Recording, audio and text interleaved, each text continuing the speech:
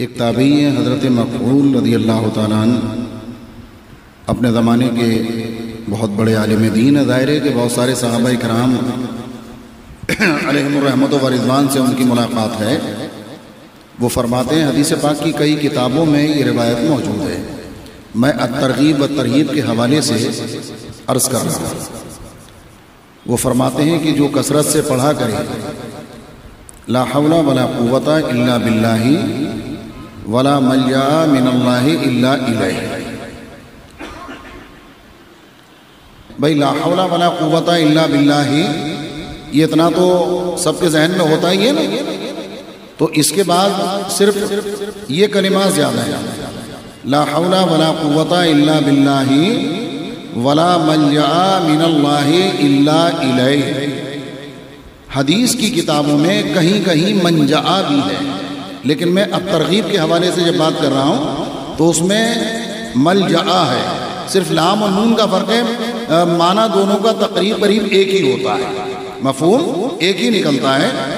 तो ला हौला वला क़ुव्वता इल्ला बिल्लाहि वला मलजा मिनल्लाहि इल्ला इलैहि। फरमाते हैं, जो इसे कसरत से पढ़ा करे, अल्लाह उस पर मुसीबतों के सत्तर दरवाजे बंद कर देगा। और उसमें से अदना दर्जे का दरवाज़ा गुरबत इफलास का है शाह फरमाया गया। फ़कीरी का है। इसकी शराह मिरक़ात में इरशाद फरमाया, क्योंकि हदीस की कई किताबों में यह हदीस पाक है। मिसका शरीफ की शराह मिरक़ात है। मिरक़ात में फरमाया, मिरक़ात के हवाले से अहल सुन्नत ने बयान फरमाया कि अल्लाह इसके आमिल को माल का भी गनी कर देगा और दिल का भी गनी कर देगा। भाई, आदमी माल का गनी हो और दिल का गनी ना हो तो वही माल उसके लिए, अगर उसने हक अदा न किया उस माल का, जक़ात ना अदा की, गरीबों की मदद ना की तो मुमकिन है वही लानत का तोक बना के गले में डाल दिया जाए, जैसा कि आदि से साबित है।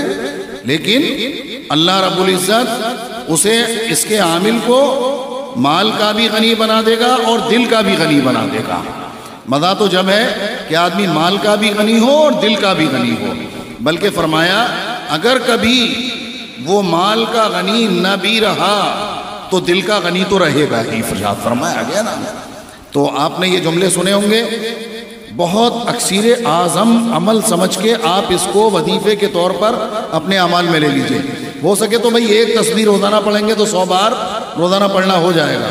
और कसरत से पढ़ें, उठते, बैठते।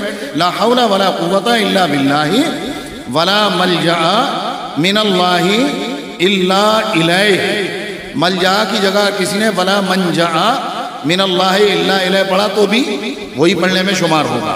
क्योंकि हदीस की कहीं किताबों में मंजा है और कहीं मलजा है। मफहूम उसका यही होता है।